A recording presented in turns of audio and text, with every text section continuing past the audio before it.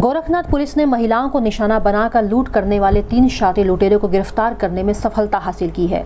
पकड़े गए लुटेरों की पहचान तिवारीपुर थाना क्षेत्र के अंधियारीपुर स्थित सुनील गुप्ता पुत्र वीरेंद्र गुप्ता भोला पुत्र मुन्नू तथा गोलू पुत्र दीपचंद के रूप में हुई है। इनके पास से पुलिस ने लूट का छह हज़ार रुपए लूट का आधार कार्ड एक बाइक बरामद की है। गोरखपुर न्यूज़ से बात करते हुए एसपी सिटी विनय कुमार सिंह ने बताया।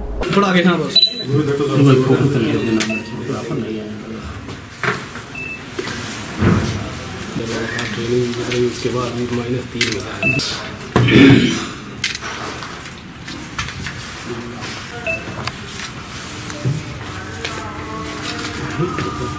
गोरखनाथ पुलिस द्वारा एक गैंग का पर्दाफाश किया गया है जिसमें अभी तक कुल तीन सदस्य गिरफ़्तार किए गए हैं।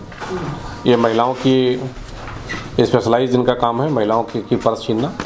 और यदा कदा ये महिलाओं के गले से। सोने की चैन भी लूट लेते हैं। अभी इन्होंने हाल में एक महिला से पर्स छीनने का प्रयास किया था। उसमें सफल नहीं हो पाए थे। तो इसमें तीन, इनके गैंग में तीन मेंबर हैं। और इसके कुछ दिन पहले इन लोगों ने एक महिला का पर्स छीना था।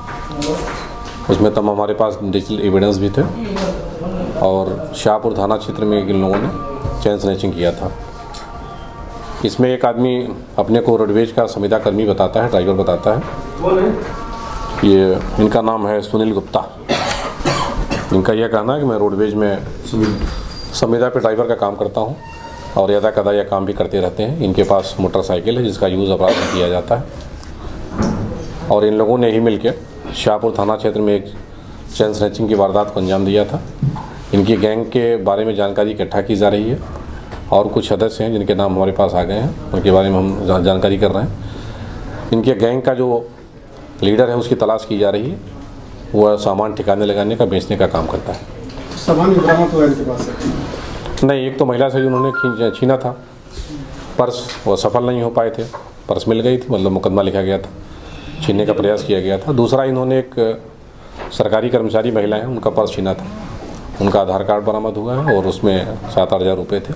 पैसे खर्च हो चुके थे वो घटना लगभग एक महीने पुरानी।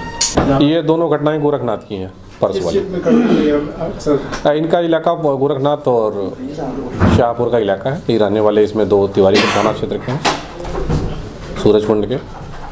काशीराम कॉलोनी जो बनी हुई है उसी के आसपास एक बस्ती है वहाँ के रहने वाले दो हैं और एक ये रहने वाले गोरखनाथ हैं। इससे पहले भी गिरफ्तारी हुई किसी किसी नहीं इसके पहले ये मतलब ये प्रकाश में नहीं आए थे। ये काम कर रहे थे प्रकाश में नहीं आए थे।